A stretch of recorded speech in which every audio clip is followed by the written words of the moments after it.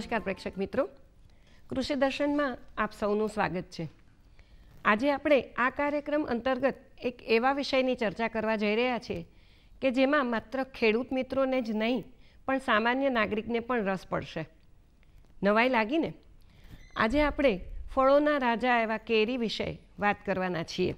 વસંતની આગમનની છડી પોકારતા આંબે જે મોર આવે છે, તેની માવજત કેમ કરવી? એના વિશે આજે આપણે જાણકારી મેળવશું. આ જાણકારી માટે આજે આપણી વચ્ચે ઉપસ્થિત છે શ્રી આર કે બોઘરા સાહેબ. નમસ્તે બોઘરા સાહેબ. આપ રાજકોટ ખાતે મદદનીશ બાગાયત નિયામક તરીકે ફરજ બજાવો છો અને તાજેતરમાં નવરચિત મોરબી જિલ્લાના નાયબ બાગાયત નિયામક તરીકે ઇન્ચાર્જ તરીકે પણ વધારાનો હવાલો આપને સોંપવામાં આવ્યો છે. આંબે મોર જે આપણે વિષય છે આંબાના મોરની માવજત એ વિષય પર આવતા પહેલાં એને સંલગ્ન એક સવાલ હું આપને કરી લઉં કે આ બાગાયતી ખેતી શું છે? એના વિશે થોડીક સમજણ આપશો પ્લીઝ. બાગાયતી ખેતી એ ખેતીવાડીનો જ એક ભાગ છે. અને તેમાં જે બાગાયત એટલે આપણે એને ઇંગ્લિશમાં હોર્ટિકલ્ચર કહીએ છીએ. આ હોર્ટિકલ્ચર જે શબ્દ છે એમાં ગ્રીક શબ્દ હોર્ટસ એટલે કે બગીચાની ખેતી. એને બગીચાની ખેતી તરીકે આપણે લઈએ છીએ. આ હોર્ટિકલ્ચરની અંદર બાગાયતી ખેતીમાં જો આપણે પાકોની વાતો કરીએ, તો એમાં ઘણા બધા પાકોનો સમાવેશ થાય છે. બાગાયતી ખેતીની અંદર ખાસ કરીને બધા જ ફળ પાકો આવે છે. એમાં કેરી, જામફળ, દાડમ, પપૈયા, કેળા, આ બધા જ પ્રકારના ફળ પાકો, ઉપરાંત શાકભાજીના પાકો, જેવા કે વેલાવાળા શાકભાજી, કંદમૂળના શાકભાજી પછી મેથી ભાજીપાલાના શાકભાજી. આ ઉપરાંત ફૂલની ખેતી. આ ઉપરાંત મસાલાના પાકો ઔષધીય પાકો. આ બધા પાકોની ખેતી એટલે બાગાયતી ખેતી કહેવામાં આવે છે. આમાં તમે જે ફળોના પાકનું કહ્યું એમાં આંબાના પાકનું મહત્વ શું છે? આપણે આંબાના પાકની જો વાત કરીએ તો આ આ પાક બહુ ખૂબ જ અગત્યનો છે. એ કેરી આંબાનું ફળ એટલે કે કેરી. જેને આપણે ફળોનો રાજા તરીકે ગણીએ છીએ. અને આ જે કે- કેરી છે એનું ઝાડ જે આંબો છે એનું વતન ભારત આપણે ગણવામાં આવે છે. અને આ આ જે કેરી છે એનું ફળ એકદમ સુમધુર આકર્ષક અને દેખાવમાં ખૂબ સારું હોય છે. તેથી દરેક લોકો આને ચાહતા હોય છે અને દરેકને આ ફળ પ્રિય છે. એટલે આપણા દેશની અંદર જે કુલ ફળ પાકની ખેતી થાય છે એનો તેતાલીસ ટકા જે વિસ્તાર છે એ ફક્ત આંબા પાકનો જ છે. અને એમાંય આપણા ગુજરાતની અંદર ખાસ કરીને નવસારી વલસાડ જુનાગઢ ગીર સોમનાથ આ જિલ્લાઓ છે એ મુખ્ય છે. અને વધતા ઓછા પ્રમાણમાં દરેક જિલ્લાની અંદર બાગાયતી પાકમાં આ આંબાની ખેતી કરવામાં આવે છે. અને આનું ફળ છે એકદમ ભરપૂર પોષક તત્વોવાળું છે. અને ગુણવત્તાની દ્રષ્ટિએ પણ ખૂબ સારું છે. અને દરેકને પ્રિય છે. એટલે જ આપણે એને ફળોનો રાજા કહીએ છીએ અને દરેકના મનમાં વસેલું ફળ છે. અને ખાસ કરીને આપણે ગ્રીષ્મ ઋતુનું ફળ તરીકે પણ ઓળખીએ છીએ અને આપણા દેશમાં પણ આને રાષ્ટ્રીય ફળ તરીકે પણ માન્યતા મળી છે. આમ આ પાક ખૂબ અગત્યનો છે અને આપણા દેશ ઉપરાંત વિદેશના લોકો પણ કેરીને ખૂબ ચાહે છે અને એમને પણ ઘેલું લાગ્યું છે. એટલે આપણા દેશમાંથી બહાર પણ ઘણી બધી નિકાસ થાય છે. અને ત્યાં પણ એની માંગ વધી છે. એટલે ખેડૂતો જો સ્થાનિક કક્ષાએ એનું ઉત્પાદન કરી અને વેચવાને બદલે નિકાસ કરે તો પણ એને ખૂબ સારા ભાવ મળે છે. એટલે આમ આનો દિવસે દિવસે વ્યાપ વધતો જાય છે. અને એનું મહત્ત્વ પણ વધતું જાય છે. હવે આજે આપણે જે વિષય ઉપર ચર્ચા કરવાના છે એ વિષય પર આવું. કે આંબાના મોરની માવજત એ શું? અને આ મોર શું છે? હવે કોઈ પણ જે પાક હોય કોઈ પણ ફળ પાક કે કોઈ પણ પાક એમાં ઉત્પાદન પહેલાં જે ફૂલ આવે છે ફાલ ફૂલ આવે છે મોર આવે છે એને આપણે આંબામાં મોર કહી શકાય. જે ફૂલ આવ્યા હોય છે એ એ- એ ફૂલને આપણે આંબામાં મોર કહીએ છીએ. આ આ આંબાનો મોર છે. અને આ જે આંબાનો મોર છે એ હંમેશા વાતાવરણ ઉપર વધારે આધાર રાખે છે. અચ્છા. કેવું વાતાવરણ છે એની ઉપર એનો ફળોનું સેટિંગ થાય છે. હવે ખાસ કરીને આંબા એ છે ને એ સમશીતોષ્ણ અને ઉષ્ણ કટિબંધમાં થતો પાક છે. અને આ પાક જે છે એમાં એના ફૂલ બેસ બેસતી વખતે એટલે કે ઓક્ટોબરથી લઈ અને ફેબ્રુઆરીનો જે ગાળો છે એ દરમિયાન એમાં ફૂલો અને ફળ બેસતા હોય છે. એ દરમિયાન જો વાતાવરણમાં ધુમ્મસ હોય વાદળછાયું વાતાવરણ હોય ભેજ હોય કે વરસાદ હોય તો એ ઉત્પાદન ઉપર એની માઠી અસર થાય છે અને ફલિનીકરણ વ્યવસ્થિત થતું નથી અને ઉત્પાદન ઘણું ઘટી જાય છે. એટલે આ દિવસોમાં જો વાતાવરણ જળવાઈ રહે અને સારું હોય તો ઉત્પાદન સારું મળતું હોય છે. એટલે આ આંબાના પાકની અંદર આ મોર અવસ્થા છે એ એક બહુ અગત્યની છે. હા. ઘણીવાર એવું પણ બનતું હોય છે કે મોર સરસ બેઠા હોય પણ એમાં ફળ નથી આવતા અથવા ફળ આવીને ખરી પડે છે. તો એની કોઈ એનું કોઈ નિરાકરણ ખરું? હવે આ સમસ્યા બહુ ઘણી બધી છે. મોટા ભાગે શું થાય છે કે આંબામાં જે ફૂલ આવે ત્યાંથી પરિપક્વ થતાં સુધીમાં લગભગ નવ્વાણું ટકા જેટલો ફાલ ખરી જતો હોય છે. એટલે જુદી જુદી અવસ્થાએ. એમાં મોર વખતે પછી નાના ફળો થાય વટાણા જેવડા થાય પછી લખોટી જેવડા થાય પછી આગળ જતા એમ જુદી જુદી અવસ્થાએ ફળોનું ખરણ જે છે એ ઘણું બધું વધુ જોવા મળે છે. તો આ જે છે એના માટે ઘણા બધા કારણો ભાગ ભજવતા હોય છે. ખાસ કરીને જે ફળો ખરી જતા હોય છે એમાં એમાં એમાં વાતાવરણ ભાગ ભજવે છે. આ ઉપરાંત પાણીની ખેંચ હોય તો પણ આવું બને. આ ઉપરાંત પોષક તત્વોની જો ખામી હોય તો પણ આવું પણ બને છે. આ ઉપરાંત હોર્મોન્સની જો પણ એમાં વધતા ઓછા પ્રમાણમાં હોય તો ફળોનું ખરણ થતું હોય છે. અને જે ફળ આવ્યા હોય એમાંથી લગભગ પોઈન્ટ એકથી બે ટકા જેટલા છેલ્લે સુધીમાં બચતા હોય છે. અને આને અટકાવવા માટેની આપણે જો વાત કરીએ તો આ એક તો નિયમિત પાણી આપવાનું પૂરતા પ્રમાણમાં પોષક તત્વો આપવાના અને જ્યારે વટાણા જેવડી અને લખોટી જેવડી કેરી થાય ત્યારે નેપ્થેલિક એસિટિક એસિડ નામનું જે રસાયણ છે જેને આપણે એન એ એ કહીએ છીએ આ વીસથી પચીસ પીપીએમનું દ્રાવણ એટલે કે બસોથી અઢીસો મિલીગ્રામ દસ લીટર પાણીમાં ઓગાળી અને એની સાથે બે ટકા યુરિયાનું દ્રાવણ. એટલે કે દસ લીટર પાણીમાં બસો ગ્રામ યુરિયા નાખી આ દ્રાવણના બે છંટકાવ વ્યવસ્થિત કરવામાં આવે તો આ ખેરીને ખરતી અટકાવી જાય શકાય બચાવી શકાય. આ ઉપરાંત જે એનું ફલિનીકરણ પ્રોપર થતું ન હોય તો એના માટે બગીચાની અંદર મધમાખીનો જો ઉછેર કરવામાં આવે તો આ પરાગનયનની પ્રક્રિયા છે. એ વ્યવસ્થિત થાય અને ફૂલોનું સેટિંગ થાય. કારણ કે જે મધમાખી છે એ એક જગ્યાએથી બીજી જગ્યાએ ઉડી અને બધે એમાં ફરતી હોય છે. એટલે એનું ફલિનીકરણ વ્યવસ્થિત થાય અને ઉત્પાદન વધે છે. આ ઉપરાંત જ્યારે ફળ મે મહિનાની અંદર પવનો વાતા હોય આ પવનને કારણે પણ ઘણી વખત ફળ ખરી જતા. હોય.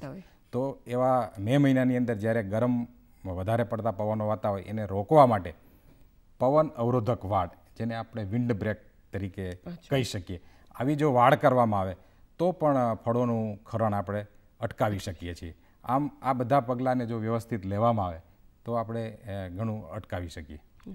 આ ખૂબ જ રાસાયણિક ખાતર મધમાખીનું ત્યાં મૂકવું અને આ જે વાડ કરવી આ ત્રણેય બહુ ખૂબ જરૂરી માહિતી આપી. ઘણીવાર એવું પણ અસર થતું હોય છે કે મોરની દાંડી ઉપર કાળા કે બદામી રંગના ધાબા પડી જતા હોય છે.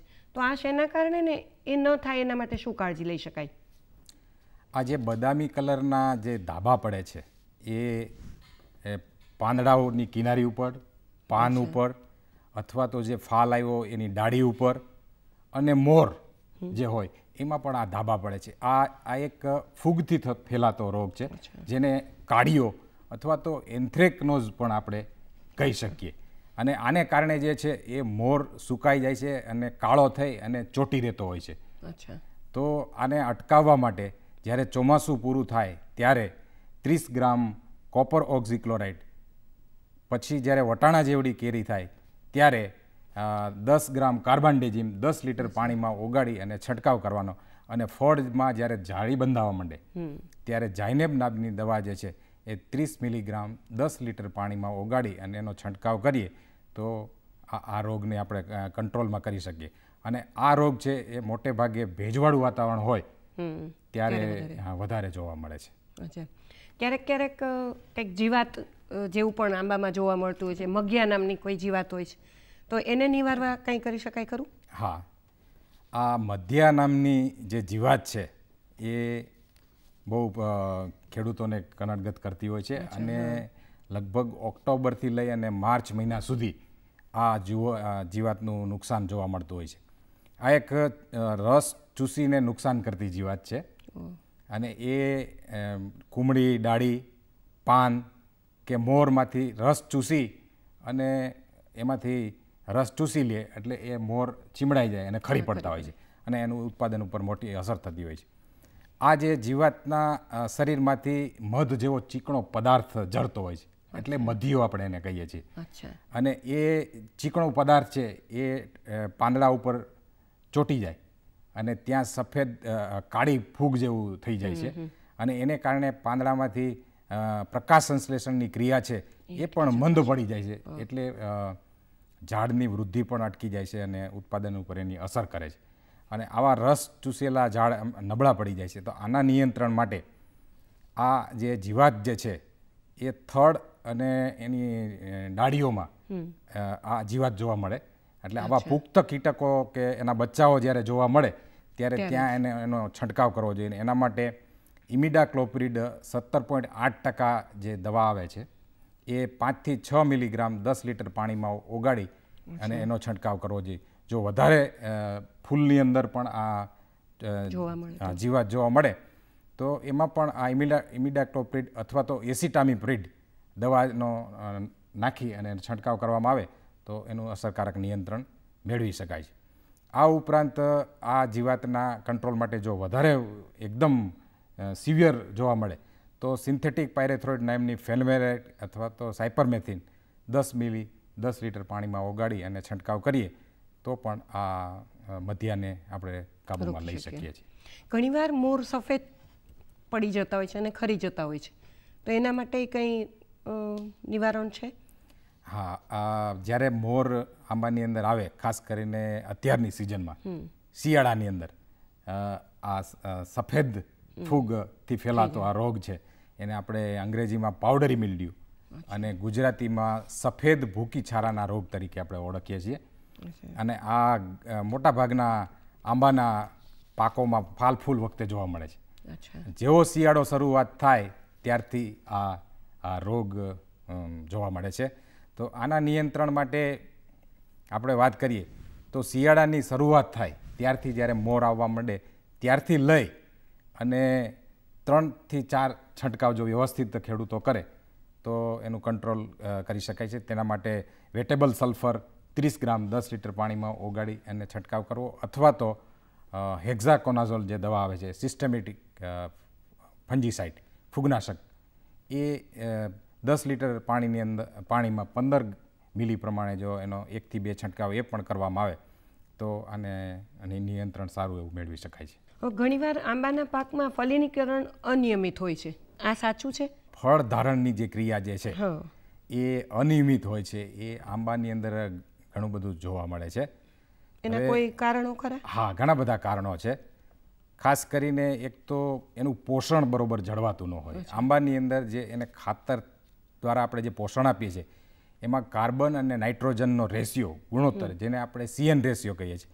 આ જો વ્યવસ્થિત જળવાય નહીં તો આ અનિયમિત ફળવાની ફરિયાદ આવે છે. એમાં મોટે ભાગે એવું થતું હોય છે કે એક વર્ષે ફળ આવે અને બીજા વર્ષે ન આવે. આવું બનતું હોય છે. અને આવા અનિયમિત ફળવાનું કારણ જાત ઉપર પણ આધાર રાખે છે. અમુક જાતો જેવી છે દાખલા તરીકે કેસરનું વાવેતર કરીએ તો એમાં આટલો બધો પ્રશ્ન નથી. જ્યારે હાફૂસની અંદર આ પ્રશ્ન જોવા મળે છે. તો એવી જાત એવી વાવીએ વાવીએ તો પણ આપણે એને નિયમિત ફળવા તરફ કરી શકીએ. આ ઉપરાંત અનિયમિત ફળવા માટે જે પોષણ પૂરતું આપવું જોઈએ પાણી વ્યવસ્થિત આપવું જોઈએ અને હોર્મોન્સ નેપ્થેલિક એસિટિક એસિડ જે છે એ વીસથી પચીસ પીપીએમ અને બે ટકા યુરિયાનું દ્રાવણનો જો આપણે છંટકાવ કરીએ તો પણ આપણે એને કંટ્રોલમાં લઈ શકાય છે. આજકાલ એક બીજું પ્રવાહી પેક્લાબ્યુટોઝોલ નામનું રસાયણ આવે છે. એનો જો છંટકાવ કરવામાં આવે તો પણ અનિયમિત ફળવાના આપણે પ્રશ્નને દૂર કરી શકીએ. આંબાનો ફાલ આપણે મેક્સિમમ મહત્તમ મેળવી શકીએ એના માટે કોઈ એવા રાસાયણિક ખાતર ખરા?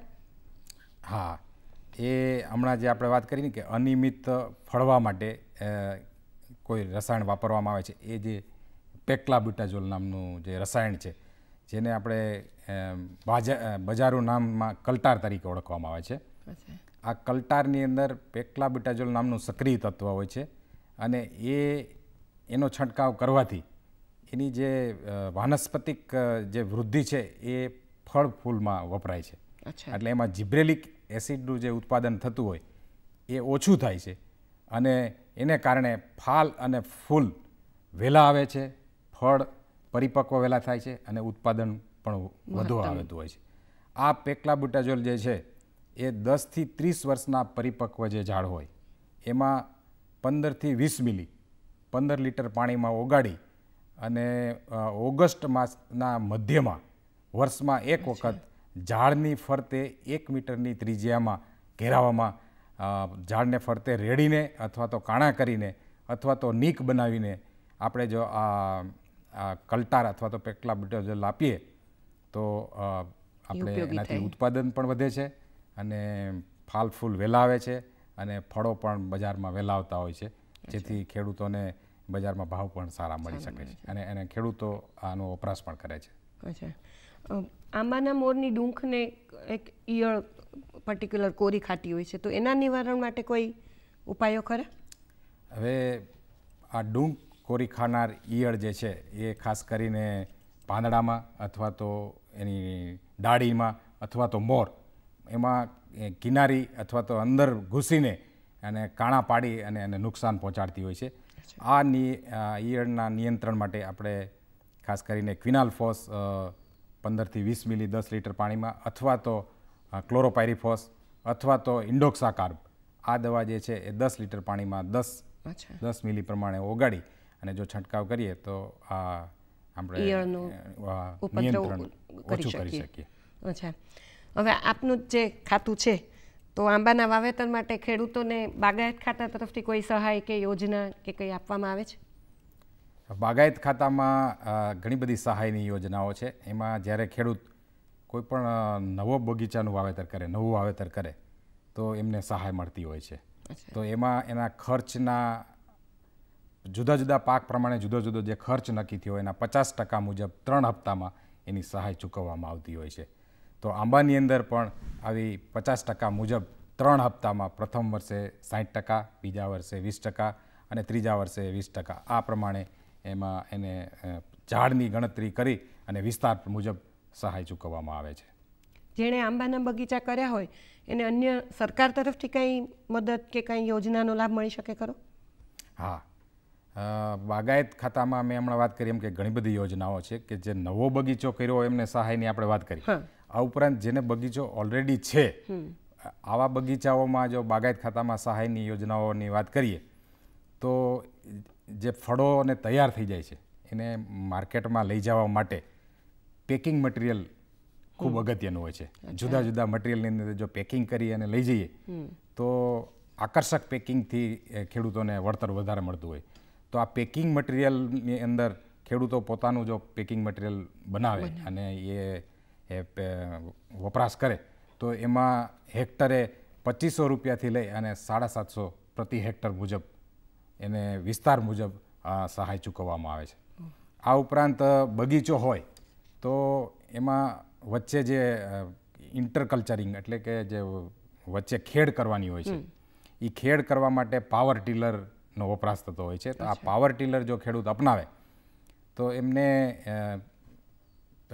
જનરલ ખેડૂતોને પિસ્તાલીસ હજાર રૂપિયા અને અનુસૂચિત જાતિના ખેડૂતોને સાઠ હજાર રૂપિયા સુધીની મર્યાદામાં આ પાવર ટીલરમાં સહાય ચૂકવવામાં આવે છે. આવી ઘણી યોજનાઓ. આ ઘણી બધી યોજનાઓ છે અને એમાં એ ખેડૂતો બગીચો જેમણે કર્યો હોય એ લાભ લઈ શકે. આ ઉપરાંત દાખલા તરીકે બગીચાની અંદર દવાનો છંટકાવ કરવો છે. તો દવાના છંટકાવમાં જે વાપરવા પંપ વાપરવામાં આવે છે. એ બેટરીથી ચાલતો પંપ અથવા તો ટ્રેક્ટરથી જ સંચાલિત જે પંપ છે એ વસાવે તો એમ એમાં પણ એને ખર્ચના પચાસ ટકા મુજબ સહાય ચૂકવવામાં આવે છે. છે આ ખૂબ ખરેખર ખૂબ સરસ માહિતી સરે આપી. પણ ઘણીવાર એવું બનતું હોય છે કે યોજનાઓ ખૂબ ચાલતી હોય છે પણ તેની જરૂરી માહિતી લોકો પાસે હોતી જ નથી. તો આ યોજનાઓનો લાભ લેવા ક્યાં અરજી કરવી અથવા તો કેવી રીતે જવું એની વિશે થોડી માહિતી આપશો પ્લીઝ? હા એ પણ ખાસ અગત્યનું છે કે ઘણી વખત ખેડૂત મિત્રોને ખબર હોય છે કે આમાં સહાય યોજના છે પણ આમાં અરજી કેમ કરવી ક્યાં જવું અથવા તો શું શું જોઈએ એ બહુ અગત્યનું હોય છે. હવેથી આપણે ગુજરાત સરકારે નક્કી કરેલું છે કે ખેતીવાડીની અંદર કે બાગાયતની અંદર કોઈ પણ ખેડૂતને અરજી કરવી હોય તો એ ઓનલાઈન અરજી કરવાની હોય છે. એના માટે એક આઈ ખેડૂત નામનું જે પોર્ટલ છે એમાં ઓનલાઈન અરજી કરી, તેની પ્રિન્ટઆઉટ મેળવી અને આ પ્રિન્ટઆઉટ જિલ્લાની નાયબ બાગાયત નિયામકની કચેરીમાં આપવાની હોય છે. તેની તેની સાથે એના જરૂરી જે દસ્તાવેજો છે, સાત બાર આઠાની નકલ, બેંક ખાતાના આધાર પુરાવા અને કરેલા ખર્ચ, એના બિલો સાથે તમામ સાધનિક કાગળો સાથે નાયબ બાગાયત નિયામકની કચેરીમાં જો એ અરજી કરે તો એ સહાય યોજનાનો લાભ લઈ લઈ શકે છે. અને આના માટે દરેક જિલ્લા મથકે આની કચેરી આવેલી હોય છે. ખૂબ સરસ માહિતી. જો ખેડૂતોને સેન્દ્રિય ખેતી કરવી હોય તો એના માટે ટૂંકી માહિતી આપશો પ્લીઝ? આજકાલ સેન્દ્રિય ખેતીનો ઘણો વ્યાપ વધી રહ્યો છે અને ખાસ કરીને આપણી સરકાર પણ આમાં ભાર આપી રહી છે અને સેન્દ્રિય ખેતીનો નવો કાયદો પણ અમલમાં આવ્યો છે. તો એના માટે ખેડૂતો સેન્દ્રિય ખેતી જો અપનાવે તો હેલ્થ માટે પણ ખૂબ સારું રહે છે અને ખાસ કરીને આ આંબા જેવું જે ફળ છે કેરી. આ કેરીની અંદર જો ઓર્ગેનિક ખેતી એટલે કે સેન્દ્રિય ખેતી દ્વારા પકાવેલું જો ફળ હોય અને આ ફળ બજારમાં મળતું હોય તેના ભાવ પણ સારા મળે અને ખેડૂત લોકો ખાવા પણ ઈચ્છે. તો આવી ખેતી પણ ખેડૂતો કરી શકે. એના માટે આ સેન્દ્રીય ખેતી એટલે એક એવી ખેતી છે કે એમાં રસાયણ વગરની ખેતી. કુદરતી જે સ્તોત્ર આપેલા છે. પાણી વરસાદ હવા આ બધાનો પૂરતો ઉપયોગ કરી અને ખેતી કરવામાં આવે. તો એને આપણે કુદરતી ખેતી કહીએ અથવા તો સેન્દ્રિય ખેતી કહીએ અથવા તો ઓર્ગેનિક ખેતી કહીએ અથવા તો નૈસર્ગિક ખેતી કહીએ. આ બધું એક જ શબ્દ છે કે જેમાં રસાયણોનો ઉપયોગ થતો નથી. દાખલા તરીકે ખેડૂતો જે દવા વાપરે છે કે ખાતર વાપરે છે એમાં રસાયણ વગરની દવા કે ખાતર ઉપયોગ કર્યા વગર દેશી ખાતરો કે ઓર્ગેનિક ખાતરો કે સેન્દ્રિય ખાતરો કે એવી સેન્દ્રિય દવાઓ વાપરી અને જો ફળને પકાવવામાં આવે તો એને આપણે સેન્દ્રિય ખેતી કરી શકાય. અને એ રીતે ઉત્પાદન લઈ અને આપણે બજારમાં જો વેચાણ કરીએ તો એના ભાવ પણ સારા મળે અને ખેડૂતો એ કરી શકે. એના માટે સરકાર તરફથી ઘણી ગાઈડલાઈન પણ આપવામાં આવે છે અને એનું અલગથી રજિસ્ટ્રેશન કરાવવાનું હોય છે. એ રજિસ્ટ્રેશન કરાવી અને સેન્દ્રિય ખેતીમાં ખેડૂતો જો ભાગ લે તો એનું ઉત્પાદન પણ સારા ભાવેથી એ વેચી શકે. આ સાથે આ આંબાના પાકમાં મોરમાં કે ફળધારણ માટે ક્યાં કેટલું પોષણ આપવું ને કેટલું રાસાયણિક ખાતર આપવું એની ફરી એકવાર ખેડૂતોને માહિતી આપી દઈશું. હવે આપણે આંબાના મોરની જ્યારે વાત કરીએ છીએ તો આ મોર જે છે એ ખરેખર તો એ કેટલું પોષણ મળે છે એની ઉપર જ આધાર રાખતા હોય છે. એટલે પોષણ જો ઘટતું હોય કે ખાતર જો પૂરતું હોય નહીં જમીનની અંદર અથવા જમીન નબળી પડતી હોય તો એ ઉત્પાદન ઉપર પણ અસર આવે અથવા તો જે મોર આવ્યો એ ખરી પણ જાય. એટલે ખેડૂત મિત્રોએ ખાસ કરીને એની પોષણ વ્યવસ્થા છે એ વ્યવસ્થિત અપનાવવી જોઈએ અને ભલામણ મુજબ કરવી જોઈએ. એટલે જ્યારે આંબાનો પાકનું વાવેતર કરીએ ત્યારથી લઈ અને ઝાડ જેમ મોટું થતું જાય એમ એના ભલામણ કરેલા ખાતરો વાપરવા જોઈએ.